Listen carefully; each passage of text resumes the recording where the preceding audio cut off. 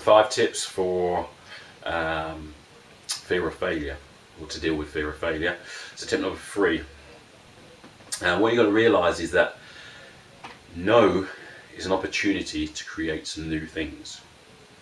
So when you hear a no, then you've got to realise it. Okay, so now I can go out there and create something new, or create a new way to do something.